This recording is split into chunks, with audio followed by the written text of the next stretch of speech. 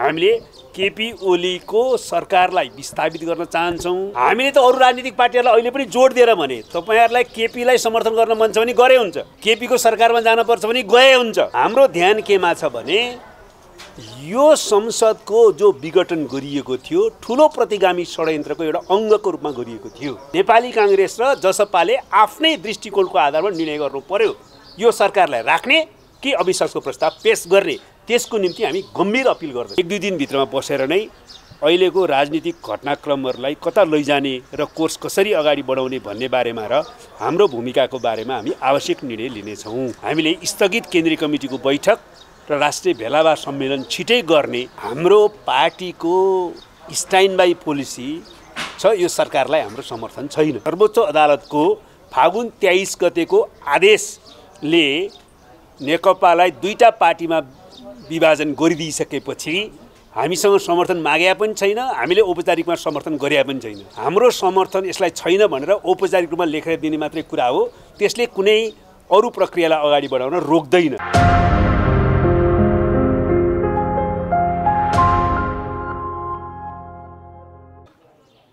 स्थायी कमिटीको अनौपचारिक बैठक बसेको हो। हामी पर्सि वा त्यसको भोलिपल्ट स्थायी कमिटीको औपचारिक बैठक बस्दैछौँ। यो अनौपचारिक बैठक औपचारिक बैठकको तयारीको बैठक हो।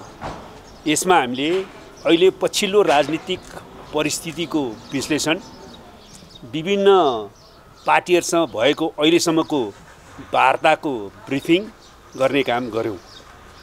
अहिले पनि परिस्थिति अझै स्पष्ट भइसकेको छैन।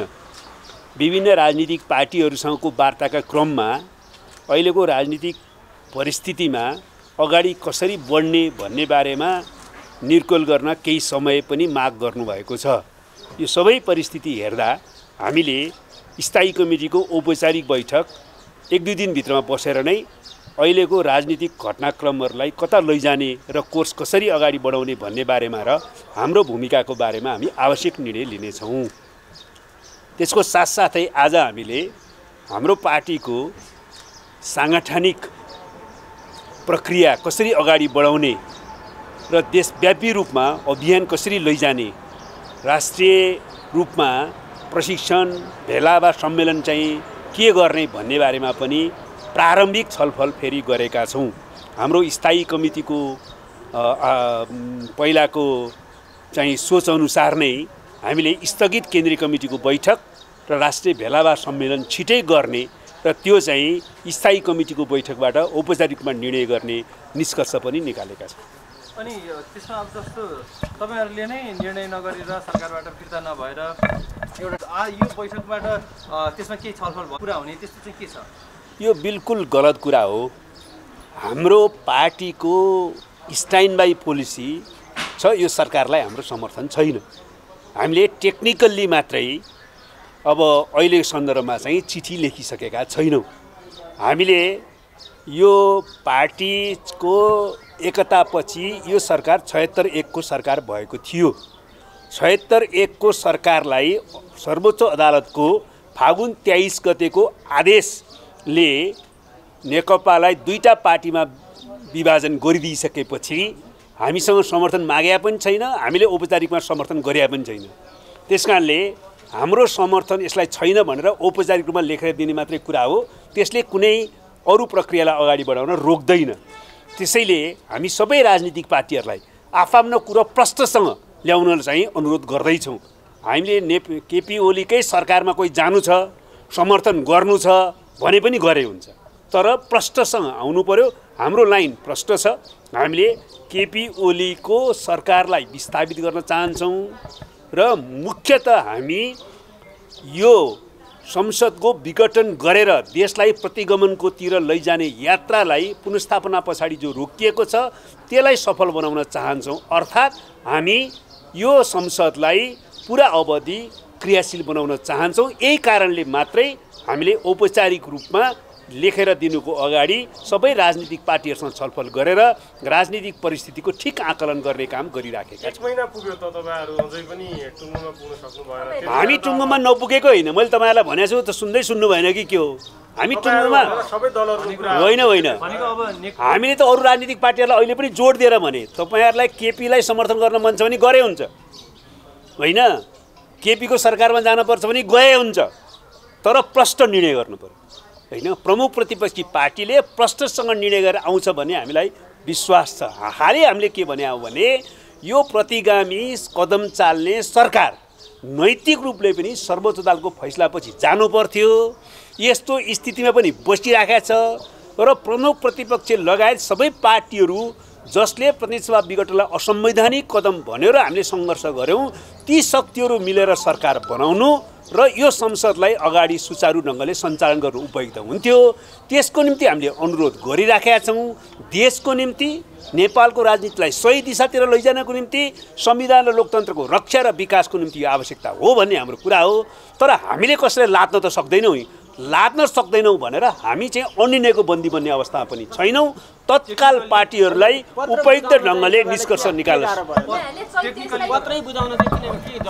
तपाईँहरूलाई मैले अघि पनि भने हाम्रो ध्यान हाम्रो ध्यान केमा छ भने यो संसदको जो विघटन गरिएको थियो ठुलो प्रतिगामी षड्यन्त्रको एउटा अङ्गको रूपमा गरिएको थियो। त्यस कारणले सर्वोच्च अदालतबाट यो पुनस्थापना भइसकेपछि तुरुन्तै यसलाई विघटनमा लैजाने त्यही षड्यन्त्र चाहिँ को दिशातिर देश लैजाने काम सकेसम्म नहोस्। त्यस कारणले हाम्रो अरू केही छैन। हामी यो संसदलाई सुचारू गर्नका निम्ति सरकार त्यस्तो बनोस् जसले चाहिँ यो विघटनको कामलाई वैधानिकता नदियोस् भन्ने चाहन्छौँ। त्यसको निम्ति राजनीतिक पार्टीहरूसँग वार्ता गरिराखेका छौँ। नेपाली काङ्ग्रेस र राजपाले तपाईँहरूले स्थायी कमिटीबाट त्यो निर्णय गरेर फिर्ता मागी समर्थन फिर्ता लिइसके पछाडि हाम्रो आधिकारिक निर्णय आउँछ भनिराखेको अवस्थामा। त्यो भनेको छैन। त्यो सत्य होइन त्यो सत्य होइन। तपाईँले भनेको कुरो सत्य होइन। तपाईँले भनेको कुरा सत्य होइन। त्यसो भने स्थायी कमिटीबाट चाहिँ कहिले हुन्छ? हिजो पनि संसदमा माओवादी केन्द्रबाट एक खालको धारणा आएको थियो। चैत तेइससम्म सरकारले पनि विश्वासको मत नलिने अथवा प्रधानमन्त्रीले पनि विश्वासको मत नलिने यहाँहरूले पनि समर्थन फिर्ता नलिने हो भने त आज कति गति भयो? आज उन्नाइस गते। तेइस गति त आउनै मान्छ। चिन्ता गर्नुहुन्छ म फेरि तपाईँहरूलाई प्रश्न भन्छु। हामीले औपचारिक रूपमा हाम्रो पा पार्टीको यो सरकारलाई समर्थन छैन भनेर लेखेर दिने प्राविधिक कुराका कारणले नेपाली काङ्ग्रेस र जसपाले निर्णय नगरेको भन्ने कुरा सत्य होइन। नेपाली काङ्ग्रेस र जसपाले आफ्नै दृष्टिकोणको आधारमा निर्णय गर्नु पर्यो। यो सरकारलाई राख्ने कि अविश्वासको प्रस्ताव पेस गर्ने त्यसको निम्ति हामी गम्भीर अपिल गर्दछौँ। स्थायी कमिटीको अनौपचारिक बैठक बसेको हो। हामी पर्सि वा त्यसको भोलिपल्ट स्थायी कमिटीको औपचारिक बैठक बस्दैछौँ। यो अनौपचारिक बैठक औपचारिक बैठकको तयारीको बैठक हो। यसमा हामीले अहिले पछिल्लो राजनीतिक परिस्थितिको विश्लेषण विभिन्न पार्टीहरूसँग भएको अहिलेसम्मको वार्ताको ब्रिफिङ गर्ने काम गऱ्यौँ। अहिले पनि परिस्थिति अझै स्पष्ट भइसकेको छैन। विभिन्न राजनीतिक पार्टीहरूसँगको वार्ताका क्रममा अहिलेको राजनीतिक परिस्थितिमा अगाडि कसरी बढ्ने भन्ने बारेमा निर्कोल गर्न केही समय पनि माग गर्नुभएको छ। यो सबै परिस्थिति हेर्दा हामीले स्थायी कमिटीको औपचारिक बैठक एक दुई दिनभित्रमा बसेर नै अहिलेको राजनीतिक घटनाक्रमहरूलाई कता लैजाने र कोर्स कसरी अगाडि बढाउने भन्ने बारेमा र हाम्रो भूमिकाको बारेमा हामी आवश्यक निर्णय लिनेछौँ। त्यसको साथसाथै आज हामीले हाम्रो पार्टीको साङ्गठनिक प्रक्रिया कसरी अगाडि बढाउने र देशव्यापी रूपमा अभियान कसरी लैजाने राष्ट्रिय रूपमा प्रशिक्षण भेला वा सम्मेलन चाहिँ के गर्ने भन्ने बारेमा पनि प्रारम्भिक छलफल फेरि गरेका छौँ। हाम्रो स्थायी कमिटीको